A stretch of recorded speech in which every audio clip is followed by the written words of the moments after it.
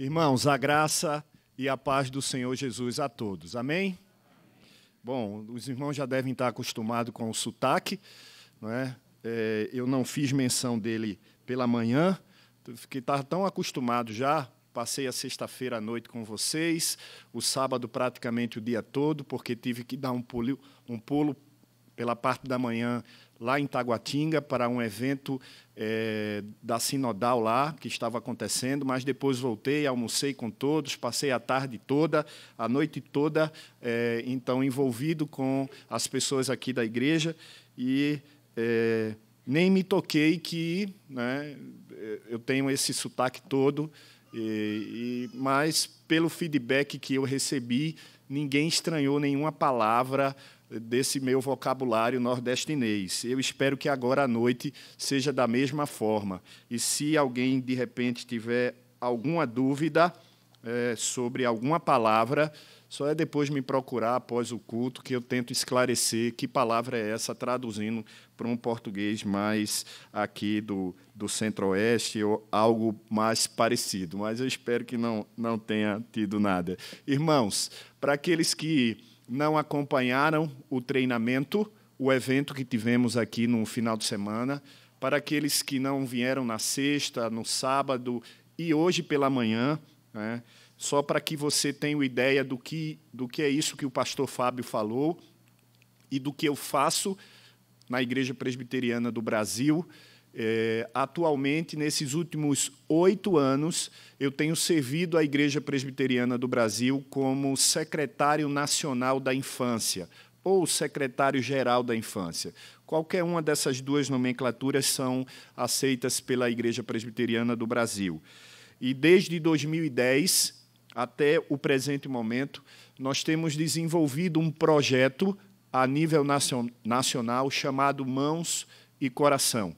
Esse projeto é, tem como alvo é, as crianças, mas também os adultos que lidam, que vivem, que convivem, que ensinam, que instruem ou que de alguma forma influenciam as crianças. Então, as mãos do slogan Mão e Mãos e Coração representam esses adultos que chegaram à conclusão de que precisam, podem e devem falar do amor de Deus para as crianças. Então, nós, através desse projeto, capacitamos esses adultos a falar do amor de Deus, através de oficinas, palestras, treinamentos e congressos que lhe ajudem a entender de que maneira, ou melhor maneira, nós podemos é, alcançar o coração das crianças? Que método, que ferramenta, é, que maneira de falar eu posso usar para, abordando uma criança, falar do amor de Deus?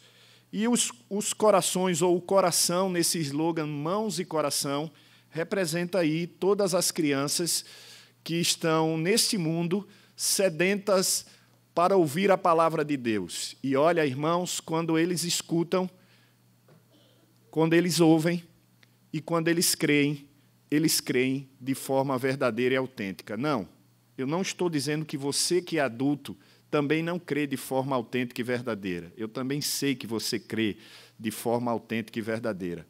Mas a espontaneidade da criança, a, aquela não vou dizer ingenuidade, porque todos nós, desde que nascemos, já nascemos com a natureza pecaminosa. Não é? Isso está dentro da nossa doutrina.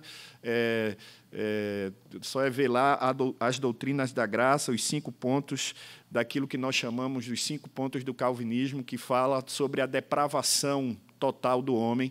E todos nós sabemos, todos nós sabemos que já nascemos com essa natureza pecaminosa. E as crianças também. Então, elas estão aí sedentas de ouvir, e quando ouvem, elas realmente guardam aquilo ali, às vezes mais do que nós, porque nós, com os nossos preconceitos já estabelecidos acerca de situações, acabamos olhando assim, dizendo: é, será que é isso mesmo?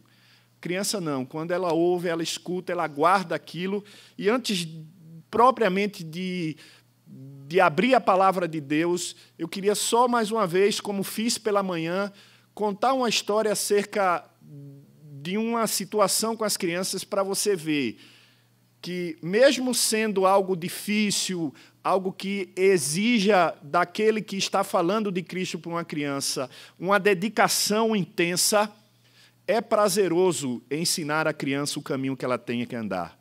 Porque quando ela assimila essa ideia, realmente ela guarda aquilo no coração. E eu conto a história de uma menina de 10 anos que nasceu no lar cristão. E você entende quando a gente fala nascer no lar cristão. Não é? Quando eu me converti, eu não entendia, não. Eu me converti e logo que eu me converti, eu fui para um retiro de, de carnaval, pastor. Imagina, novo convertido num retiro de carnaval, toda aquela situação, aquele, aquele linguajar evangeliquez que eu não entendia também, a paz do Senhor, amém, e aquilo, e eu dizia, tem que falar isso toda vez. É, e eu ficava, meu Deus, é onde eu vim amarrar meu bode. Isso é uma expressão nordestinês, tá? É, ou seja, o que é que eu estou fazendo aqui, onde eu vim amarrar o meu bode. E uh, eu não entendia, e o pastor lá começou um culto que ele chamava que era o culto da fogueira, e os irmãos tinham a oportunidade lá na frente, né, pegar o microfone e, durante dois, três minutos, contar um testemunho da vida deles. Se você já foi em, uma, em, algum acampamento, você deve ter visto já essa situação. Eu, novo ali, não entendi aquilo. Eu disse: vou nada, eu vou nada, vou pegar esse negócio aí, não. Eu quero que ninguém veja nada da minha vida, saiba nada da minha vida. Mas, enfim, eu estava lá de espectador. E todo mundo que pegava o microfone chegava e dizia assim: Meu nome é Fulano de Tal, eu nasci no lar cristão e aconteceu isso, isso, isso. E veio o primeiro, veio o segundo, meu nome é fulano de tal, sou, nasci no lar cristão, nasci no lar cristão, o terceiro nasceu no lar cristão, o quarto nasceu no lar cristão, o quinto nasceu no lar cristão, aí eu pensei alto. Sabe quando a gente pensa alto, né? É quando a gente fala e todo mundo escuta. E aí eu pensei alto e disse: Meu Deus, que maternidade é essa que todo mundo nasceu e eu não conheço? É, eu moro aqui já faz o quê? Desde que eu que me entendo de gente. Né? Desde que eu nasci, eu moro aqui. Cadê que essa maternidade? Eu nasci no Hospital Geral, é a única maternidade que tem aqui. Meu Deus, que maternidade é essa lá, cristão? E aí o pastor ouviu, né? E quando o pastor ouviu, ele olhou e disse: Quem é você? Aí eu, ai meu Deus. E o pastor, já sei, você é novo convertido, tá? Entra é, com a gente agora, né? Aí eu digo, é, pastor, desculpa, eu nunca mais falo nada na minha vida. E ele, não, não se preocupe, não. A gente, quando fala que uma pessoa nasceu num lar cristão, a gente está dizendo que ela nasceu já numa família evangélica. Que o pai é evangélico, a mãe é evangélica, os avós são evangélicos, o tio é evangélico. Então a gente diz assim: nasci, nasci num lar cristão. Ah, pastor, tá bom. Né? E aí eu aprendi isso definitivamente. Mas vamos voltar para a história. Essa menina nasceu num lar cristão. Avô, avó, tio, tia, pai, mãe que ensinavam sempre a palavra de Deus, tinham seu culto doméstico. Essa menina sabia muito, e na escola bíblica dominical, ou na escola bíblica da igreja dela, ela era a aluna mais, assim, mais comprometida. Ela chegava mais cedo, ela era a última a sair, ela amava a professora contando as histórias, a história de José, a história de Davi, a história, enfim, a história de Jonas. Essa era a que ela mais gostava, a história de Jonas. Né? E aí ela sabia, se perguntasse e dissesse assim, menina, conta aí a história de Jonas, ela contava nos seus mínimos detalhes. Até que um dia ela foi para a escola, não a dominical, não a escola bíblica, mas a escola mesmo dela. E aí, lá naquela bagunça toda, o professor chegou, a professora, não me lembro direito, de quem eu escutei a, a, essa história, se foi professor ou professora, né? ela, olha, silêncio, vamos começar a aula. Hoje a gente vai estudar sobre os grandes seres da face da Terra. Hoje vai ser uma aula especial, tá? E aí todo mundo, ah, professor, valeu, professora. É... Aí alguém gritou, dinossauro então? Aí a professora disse: Isso mesmo, vamos começar pelos dinossauros, mas não vamos parar aí. E ela aí começou a falar sobre as características desses grandes seres da face da Terra, os dinossauros e aquela coisa toda, até que ela chegou na baleia. Chegou na baleia, aquela menina lembrou logo de quem? Apesar da, de que a Bíblia diz que era um grande Peixe. Mas, irmãos, eu não sou pescador. Se eu pegar um peixe desse tamanho, eu já vou dizer que é um grande peixe.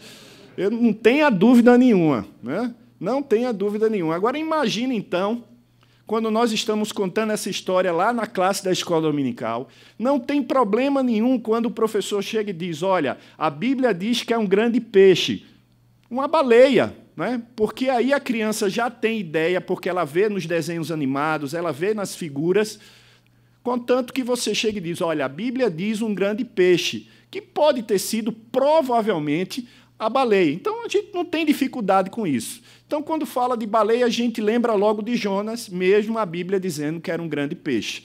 E aí o professor começou a falar, ou a professora, dos detalhes desse grande ser, e falando tal, as características, até que a, a professora chegou lá e disse assim: apesar de ser esse grande ser, a baleia não consegue engolir um ser humano porque o canal por onde passa a comida, o alimento na baleia é muito estreito. E aí ela foi falando aí, ela começou a fazer, a franzir a testa assim, a balançar a cabeça negativamente, não concordando com aquilo que o professor falou. O professor, então, ou a professora, percebendo aquilo ali, parou a aula e disse: O que é que está acontecendo?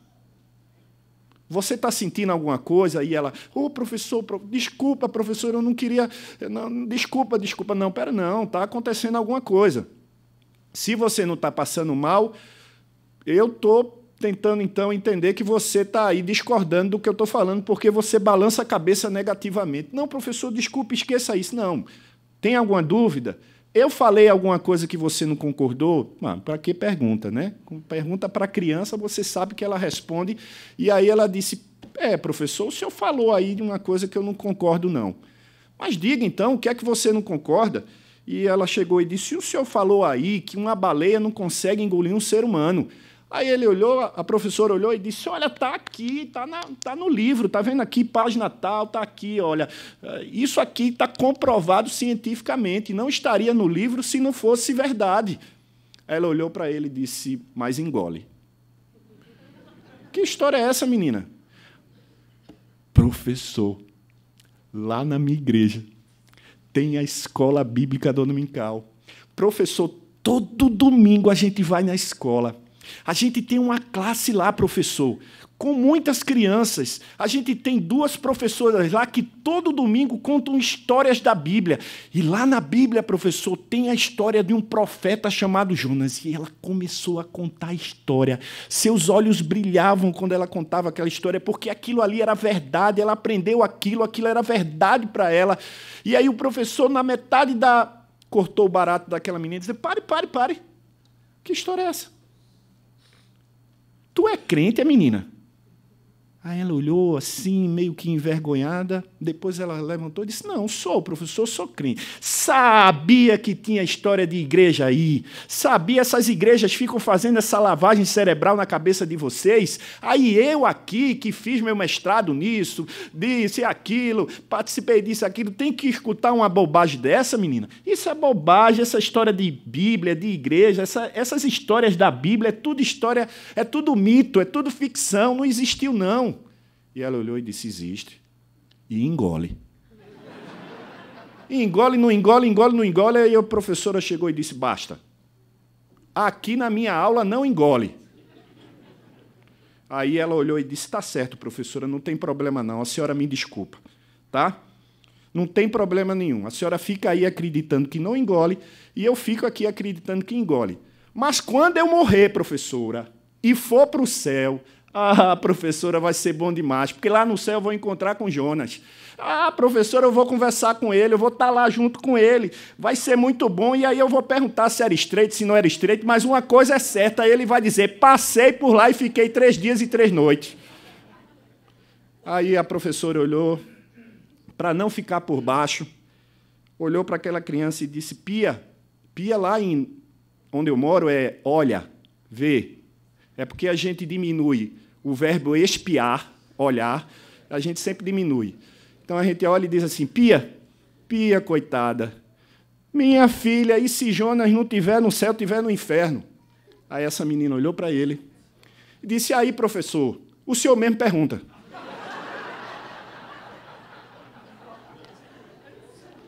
O senhor mesmo pergunta. Porque eu sei onde eu vou estar.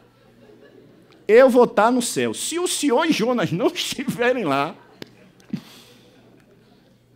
Então, assim, os desafios de contar, de evangelizar, de pregar para as crianças são imensos. Eu sei disso. Porém, quando a gente vê crianças como essa defender a sua fé e agir como um grande apologeta, né? um grande defensor da sua fé, a gente abre um sorriso maravilhoso e diz: valeu a pena. Irmãos, nós estamos perdendo uma geração. E isso pode custar muito caro para a gente. Uma geração está sendo criada longe dos caminhos do Senhor. E essa sociedade corrupta, que jaz no maligno, está fazendo tudo para que isso se concretize.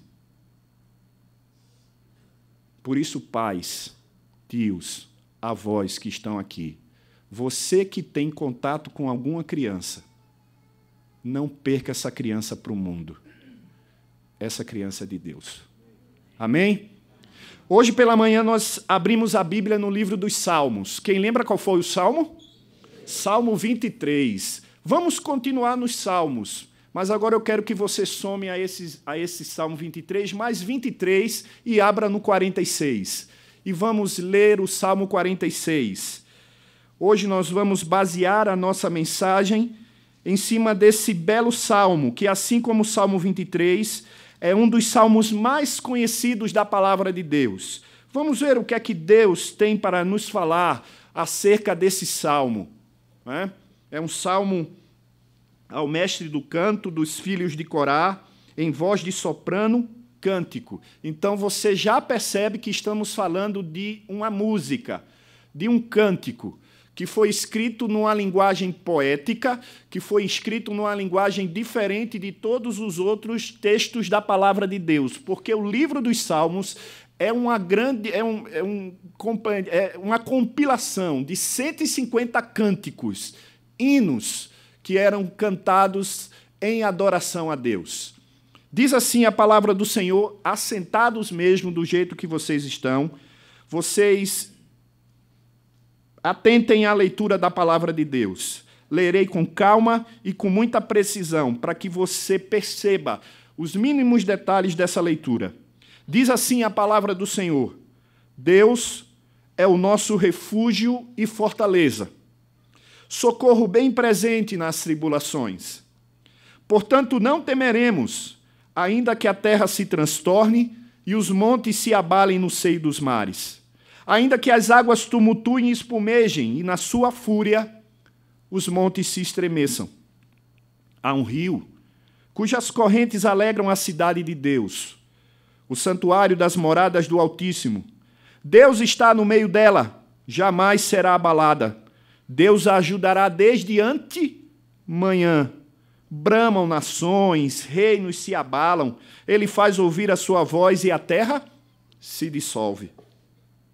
O Senhor dos exércitos está conosco, o Deus de Jacó é o nosso refúgio. Vinde, contemplai as obras do Senhor que assolações efetuou na terra. Ele, Deus, põe termo à guerra até os confins do mundo quebra o arco, despedaça a lança, queima os carros no fogo. Aquietai-vos e sabei que eu sou Deus. Sou exaltado entre as nações, sou exaltado na terra. O Senhor dos exércitos está conosco, o Deus de Jacó é o nosso refúgio. Senhor, nosso Deus e amado Pai, imploramos agora e clamamos agora que o Senhor fale ao nosso coração. Não aquilo que queremos ouvir, mas aquilo que precisamos ouvir, Senhor. Porque talvez aquilo que queiramos ouvir ainda parta de um coração egoísta, de um coração que só quer escutar aquilo que lhe deu o prazer necessário. Mas nessa noite, que o Senhor fale ao nosso coração. E se for para nos dar alegria, que o Senhor enche o nosso coração de alegria mas se for para nos exortar, se for para nos constranger, se for para nos humilhar, que assim se faça também, porque tu és esse Deus poderoso. E a tua palavra não pode voltar vazia. Por isso, enche o nosso coração, para que saiamos daqui preenchidos com aquilo que o Senhor tem para nos revelar através da tua palavra. Usa-me como canal de transmissão, apenas isso, canal de transmissão. Em nome e por amor de Cristo. Amém. Irmãos, como eu falei e também falei pela manhã e já falei aqui, o livro dos Salmos é um livro um tanto quanto especial. Isso se deve pelo fato de que ele é um, uma junção um, um livro de cânticos que eram entoados pelo povo de Deus em situações as mais diversas. Talvez a situação mais comum que esses cânticos eram entoados eram quando, eram quando esse povo de Deus se juntava, pelo menos uma vez no ano, naquelas três grandes festas que o Antigo Testamento diz que o povo de Deus realizava em Jerusalém. Uma delas era a festa da Páscoa, para lembrar e recordar da Páscoa lá, daquela libertação que Deus deu ao povo de Deus da mão né, do Faraó. Então, uma dessas três grandes festas era a Páscoa, que era talvez a festa mais procurada. Procurada por quê, pastor? Porque se você que já estudou o Antigo Testamento relembrar, ou para você que ainda não teve condições disso, você então vai entender que em algum momento o povo de Deus foi disperso. O povo de Deus saiu da sua terra e foram morar em outras terras. Se juntaram com outros povos e foram morar ali, distantes de Jerusalém, distantes ali da, é, da terra do Senhor onde o povo de Israel vivia. Então, existiam, a Bíblia fala que várias dispersões aconteceram durante a história do povo de Israel. Porém, essas pessoas e as pessoas que já moravam e continuavam morando em Jerusalém, ali em Judá, lembra que Israel foi dividida, né, foi dividida em dois reinos, o reino do norte que comportava quantas tribos?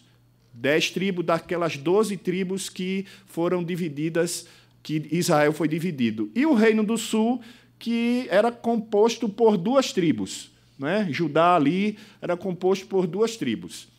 Então, ali em Jerusalém, existia uma concentração nessas três grandes festas.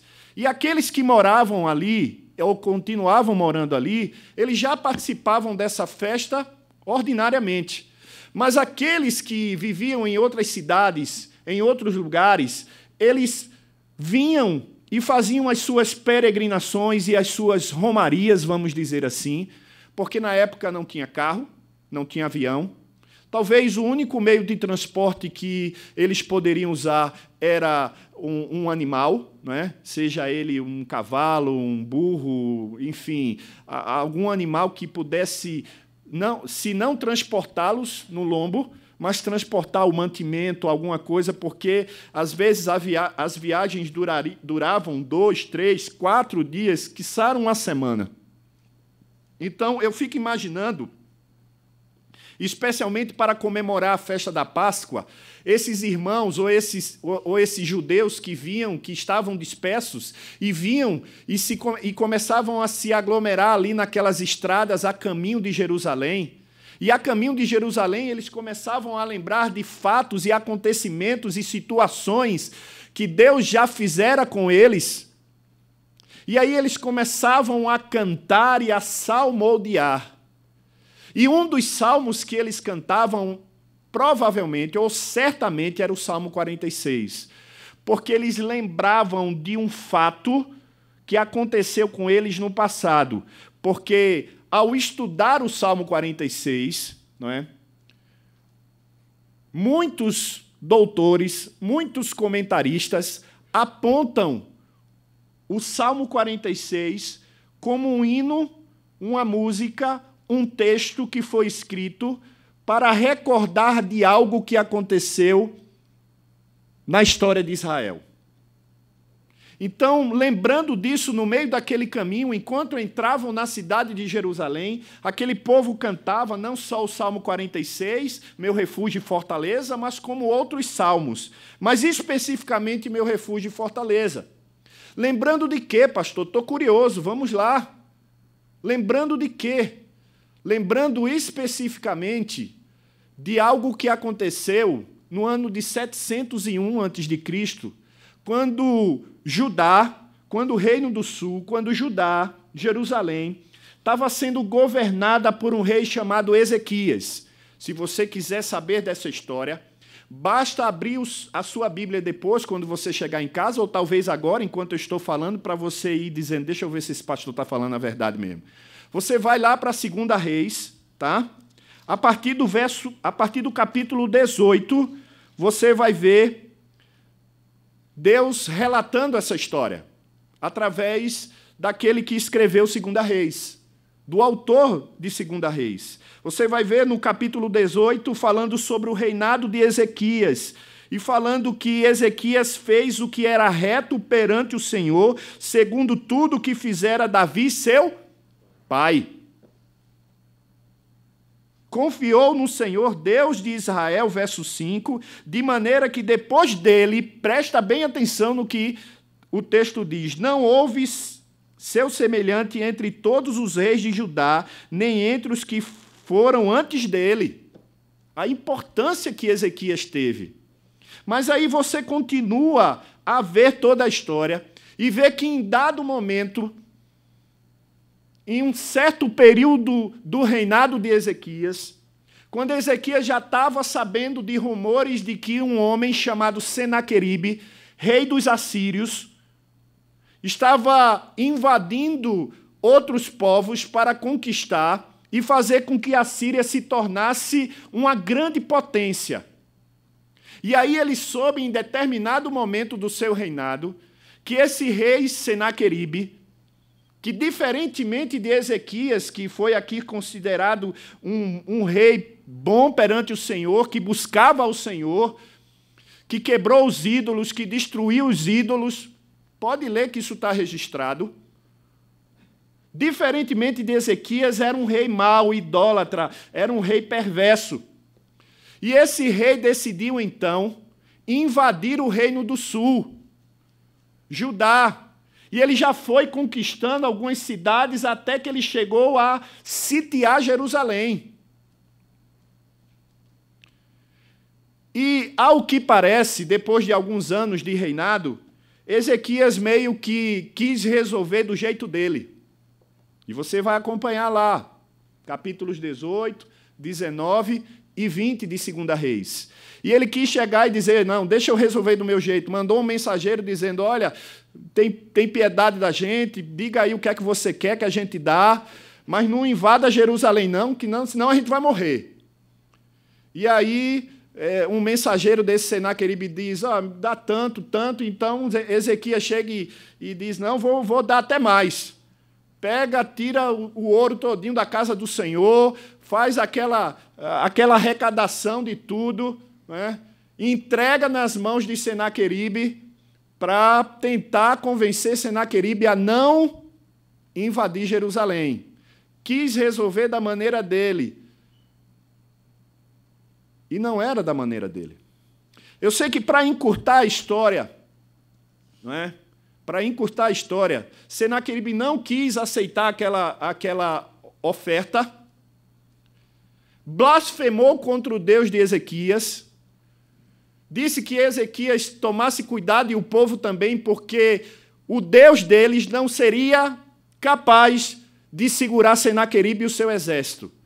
Só para que você saiba, o exército de Senaqueribe era um exército de mais de 185 mil homens. Provavelmente o exército mais temido daquela época, daquela situação, daquele contexto.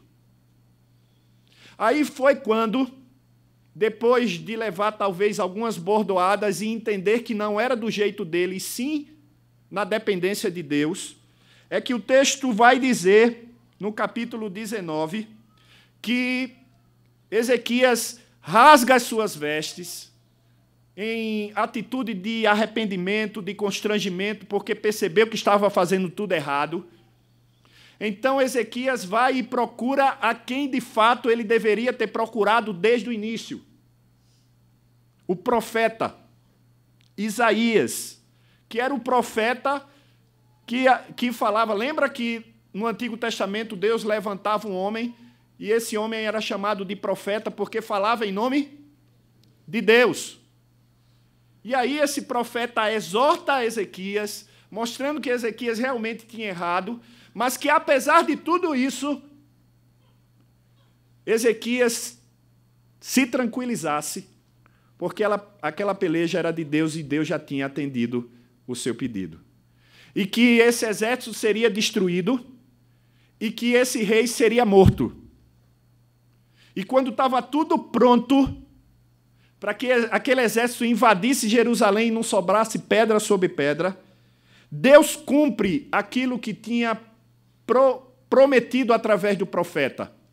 Naquela antemanhã, um anjo desce naquele arraial onde estava 185 ou mais de 185 mil homens, e 185 mil homens caem por terra mortos, como no estalar de dedos, sem que nenhum sangue judeu fosse derramado. Senaqueribe sobrevive a essa situação, foge atemorizado porque não existe mais exército nenhum, chega a uma cidade chamada Nínive para se refugiar, e quando lá chega, é morto ao fio da espada pela própria pela mão dos seus próprios ou do seu filho mais velho. Para que se cumprir aquilo que o profeta tinha dito, que o seu exército ia ser destruído e o próprio, e o próprio rei seria morto foi provavelmente lembrando dessa situação miraculosa, espetacular, sobrenatural, de uma ação de Deus, que o autor do Salmo 46 escreve essa belíssima canção.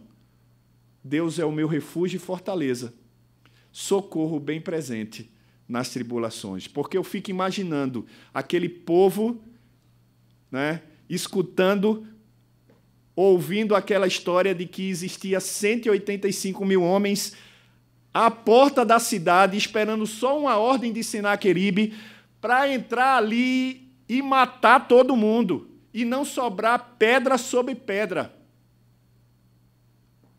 Que angústia, que aflição. Mas Ezequias fez o correto.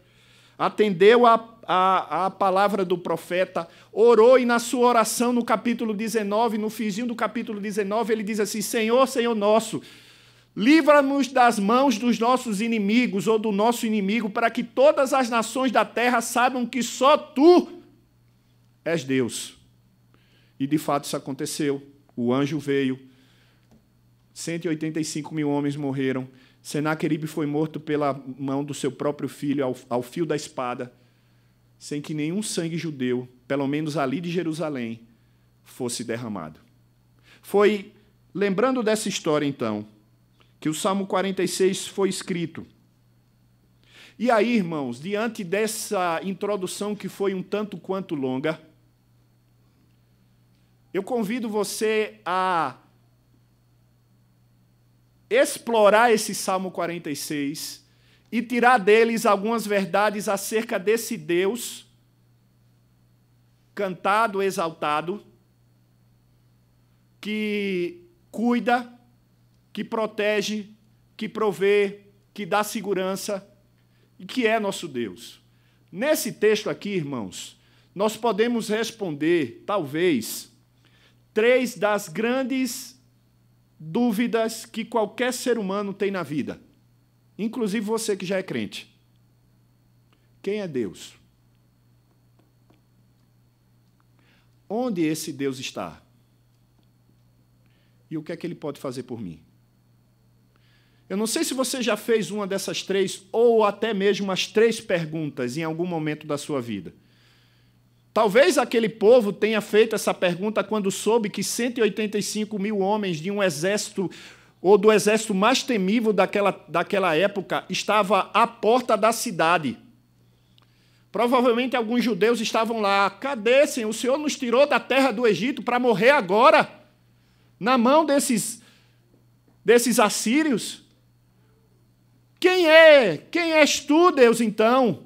Onde é que tu, tu estás? O que é que tu pode fazer por nós agora? E aí, numa didática maravilhosa, e você vai poder observar isso, esse texto pode ser subdividido em três partes para responder essas três perguntas tão importantes e que ainda gera dúvida na nossa mente quando passamos por situações difíceis e complicadas na vida. Se você prestar bem atenção, os três primeiros versos vai lhe responder especificamente quem é esse Deus. Pois se a sua dúvida é quem é Deus, esses primeiros três versos lhe respondem de forma clara e objetiva. Preste atenção no que diz o texto. O texto diz então assim: Deus é, irmãos, aqui já está a afirmativa. Deus é nosso quê? Refúgio e fortaleza, socorro bem presente nas tribulações. Portanto, ou seja, por causa dessa afirmação, por causa dessa certeza, por causa desse pressuposto, não temeremos ainda que a terra se transtorne, ainda que 185 mil homens estejam com a espada, da mão para, a espada na mão para invadir a nossa cidade e nos matar, ainda que os montes se abalem no seio dos mares, ainda que as águas tumultuem e espumejem na sua fúria, os montes se estremeçam, Deus continua sendo Deus é nosso refúgio e fortaleza. Quando nós olhamos e vamos ao texto original, né, ao hebraico nesse caso, porque está no Antigo Testamento, e nós vamos ver o termo para refúgio e o termo para fortaleza, a gente vai ver que esses dois termos são parecidos e têm a mesma conotação. Mas o autor faz questão, então, de usá-los dois, ele podia usar um só. Tem a mesma conotação, mas ele dá ênfase usando esses, essas duas palavras para que quem esteja cantando ou quem esteja lendo, no caso de nós hoje, é? poderíamos estar cantando também sem problema nenhum, mas no, no, caso aqui, na exposição desse sermão, na exposição e explicação, é? na exegese desse texto, entendermos que ele fez isso para dar ênfase àquilo que Deus é. Eu sei, irmãos, que Deus é onipotente, onipresente, onisciente. Eu sei dos atributos de Deus. E se fôssemos realmente falar de quem Deus é, nós passaríamos a noite toda aqui, entraríamos no horário do segundo culto, falando nisso, eu preciso me apressar.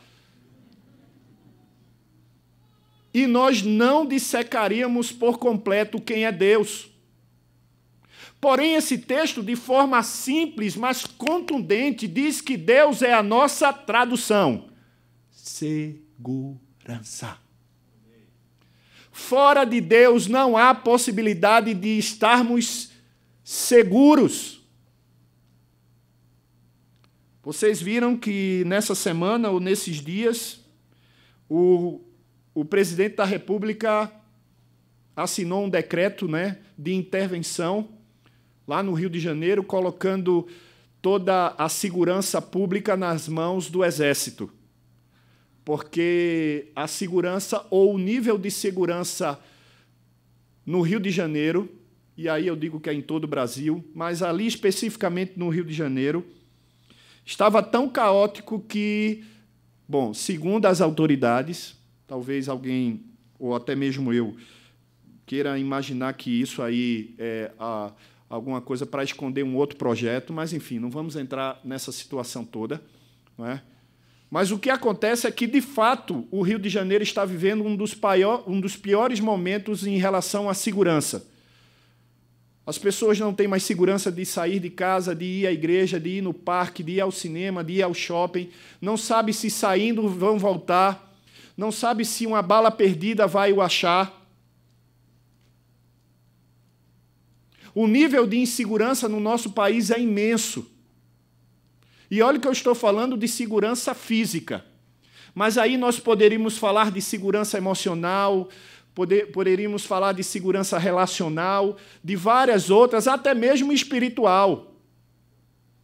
Porém, Deus é aquele que engloba todas toda essa, essa, essas esferas que nós podemos falar e, e, e, e constatar de segurança que fizemos, e diz que Ele é completo em tudo.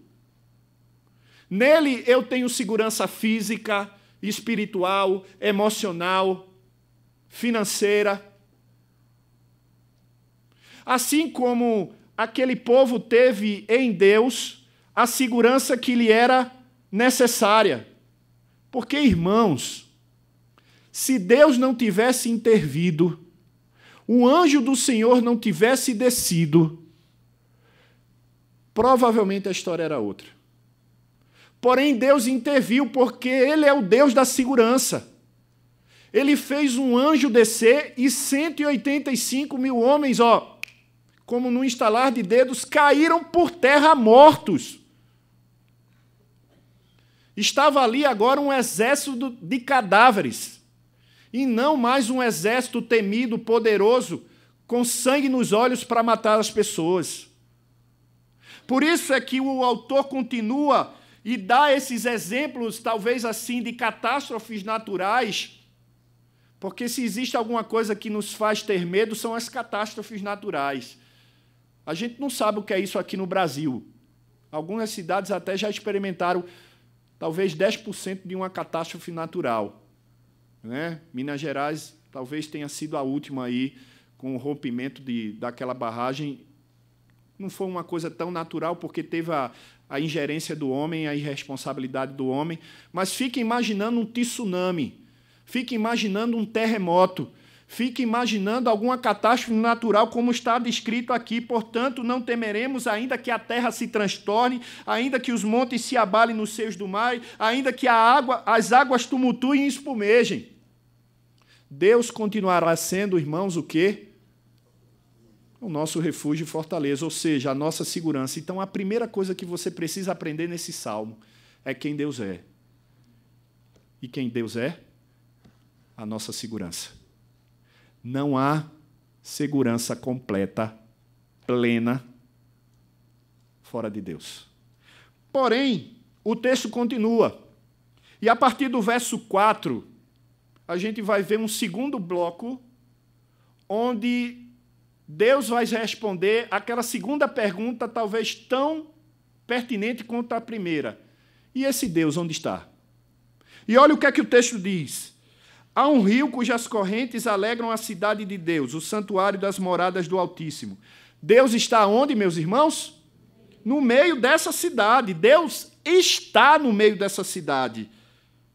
Jamais será abalada. Deus a ajudará desde antes. Lembram do anjo que, na, que desceu naquela madrugada, naquela antemanhã? Deus a ajudará desde antemanhã. Bramam nações, as nações podem gritar, os reis podem blasfemar. Ele faz ouvir a sua voz e a terra se dissolve. Olha o que diz o verso 7, irmãos, por favor. O Senhor dos Exércitos está conosco, irmãos. Aqui está a resposta para a segunda pergunta. Onde esse Deus está? Conosco. O Deus de Jacó é o nosso refúgio completa o verso 7, retomando a argumentação do primeiro ponto. Olha que coisa didática. Olha como esse salmo é didático. Ele comprova e argumenta essa segunda proposição, relembrando da primeira de que Deus é o quê? Refúgio e segurança. Mas o texto é muito claro, ele diz que Deus está no meio da cidade, ele diz que Deus está com o seu povo. Deus não é um Deus de ausência, irmãos. Por mais que você olhe e diga assim: Deus me abandonou. Será? Ou será que dentro da soberania, dos decretos de Deus, daquilo que do plano de Deus para a minha vida, é assim que tem que acontecer? É assim que tem que ser. Ou se não, não é melhor pensar mais um pouquinho e ver que somos nós que tentamos nos afastar de Deus? Lembra de Ezequias? Ele tentou se afastar de Deus e dizer: Deixa que eu resolvo isso. E aí, Senaqueribe? Vamos lá? Claro, estou falando as minhas palavras, tá, gente? E aí, o que é que eu posso oferecer para você, para você não invadir aqui Jerusalém? Achando que pode deixar Deus de lado. E muitas vezes, quando perguntamos onde Deus está, deveríamos estar perguntando: onde eu estou que me afastei tanto de Deus? Onde eu estou, para onde eu fui que me afastei tanto de Deus? Ezequias estava meio que assim. E o profeta Isaías teve que exortá-lo para dizer: aonde você estava, Ezequias, que se afastou tanto de Deus? Porém, Deus é tão gracioso, Ezequias, que apesar de você, vai dar a vitória ao povo. Deus não é um Deus de se ausentar, irmãos. Deus sempre se faz presente, seja na alegria ou na angústia. E mesmo que na angústia, e mesmo que essa angústia dure, mesmo que ela lhe faça chorar, sofrer, que você esteja sentindo a dor no peito, no coração, na alma, Deus continua presente e estará com você e passará pelo vale da sombra da morte junto com você. Porque não há nada neste mundo que aconteça sem a permissão desse Deus que é soberano e presente. Não é Deus ausente. Mas, finalmente, irmãos, o texto, a partir do verso 8, responde àquela terceira e talvez mais complicada argumentação, porque a gente acaba querendo que nessa terceira pergunta a resposta seja algo prático para nós, não é? que é a pergunta de: tá bom, Deus é, eu já sei onde Deus está, mas me diga aí o que é que esse Deus faz por mim, que eu não senti nada ainda. Peço, peço, peço e Deus não me responde. O que é que esse Deus fez por mim, pastor? Vamos lá, irmãos, olha o que o texto diz. Vinde, contemplai o que, irmãos? As obras do que o assolações efetuou na terra. Agora preste atenção, por favor, no verso 9. O texto diz que ele, ele quem? Deus, põe termo à guerra. Num bom português, transliterando, traduzindo, por termo à guerra significa o que, irmão? Aca, acabar. Foi isso que ele fez com o exército de Senaqueribe. Ele pôs termo à guerra até os confins do mundo. Ele quebrou o arco, ele despedaçou a lança, ele queimou os carros no fogo. Deus fez algo sobrenatural ali. Cumpriu aquilo que prometera através do profeta Isaías de que eles não iam invadir Jerusalém, de que aqueles, aquele exército não ia derramar nenhum sangue judeu, pelo menos ali de Jerusalém, e que aquele rei seria morto. Deus agiu, porque Ele é, porque Ele está, mas também porque faz. Mas eu sei que muitas vezes, nessa limitação nossa de humano, pecador ainda, apesar de regenerado, mas pecador ainda, só estaremos plenos, livres totalmente do, do, do poder do pecado, da influência do pecado, quando estivermos definitivamente com Deus. É claro que nesse processo todo aqui na terra de santificação, porque Romanos mesmo diz, no capítulo 8, não há mais condenação para os que estão em Cristo Jesus. Né? Porque o pecado já não domina mais. Mas é como se Paulo estivesse fazendo assim, ó. É assim. O pecado é o ninho e o passarinho. Quando você não tinha Cristo, o ninho e o passarinho fazia o que queria aqui na sua cabeça. Depois de Cristo, tá? O ninho ainda continua, porque você ainda continua pecador. Porém, o passarinho não pousa mais. Pode até estar sobrevoando, mas não pousa mais. Por quê? Porque o Espírito Santo que habita em nós nos convence do pecado, da justiça e do juízo. E aquele prazer que nós tínhamos antes no pecado não temos mais. Mas para livrar-se definitivamente, aí só quando estivermos totalmente com Deus, plenamente com Deus, na glória com Deus. Aí, meu irmão, não vai ter mais pecado, não vai ter mais dor. É, é, é, eu, eu tento vislumbrar, mas não consigo, de tão maravilhoso que vai ser esse, esse momento. E nem quero me preocupar com isso, quero experimentar somente. Mas vamos lá.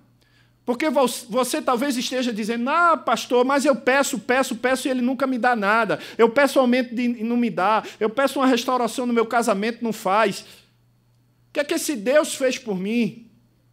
Agora eu vou apontar para a cruz. Talvez alguns exegetas, né? É, alguém que tem uma boa hermenêutica diga, eita, o pastor agora está forçando o texto. Mas agora eu vou apontar para a cruz. Porque apontando para a cruz, eu vou dizer a você que ele pôs termo à maior guerra que já existiu na nossa vida, que era a guerra contra o pecado. Lembra que eu agora, agora há pouco falei? Antes o passarinho e o ninho faziam o que queriam na nossa cabeça, mas após Cristo não faz mais.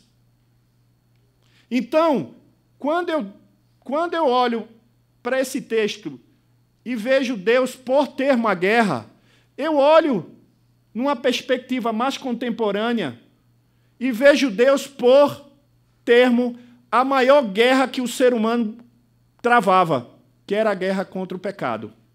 Porque por si próprio ele não tinha condições de vencer essa guerra. Tinha, irmãos? Não é isso que a gente aprende na nossa, nas doutrinas da graça? A justificação não é sua, a justificação vem pela fé em Cristo Jesus, que morreu numa cruz, que pagou o preço. Ele foi quem nos substituiu, por isso que chamamos ele de Cordeiro de Deus, que tira o pecado do mundo. Se todas essas coisas periféricas, importantes, mas que não são extremamente necessárias, ainda não aconteceu, saiba que o de mais importante, o que de mais importante poderia acontecer na sua vida, Deus já fez. Portanto, ele já agiu na sua vida. Ele ofereceu aquilo que o céu tem de melhor, Jesus, para aquilo que a terra tem de pior nós, os pecadores. Jesus nos substituiu na cruz, porque aquela cruz era minha, aquela cruz era sua. Quando a gente canta, não é?